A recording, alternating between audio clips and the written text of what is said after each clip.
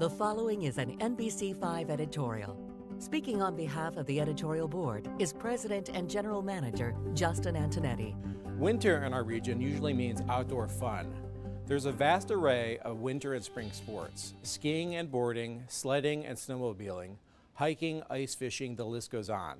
But with those activities come some pretty hefty risks. This year we've seen quite a bit of tragedy. More than a few snowmobilers have died on the trails and several others have been injured. It seems like every few days we're hearing of another deadly accident on the slopes. And there's never a shortage of cars and ATVs breaking through the ice. Perhaps it's time for all of us to reevaluate our safety practices before heading outside. Do you wear a helmet while skiing or snowboarding? Have you mapped out your snowmobile routes to avoid bodies of water? Don't forget a final check of all your survival gear before heading up the hiking trail. We believe preparation is key to staying safe while having fun.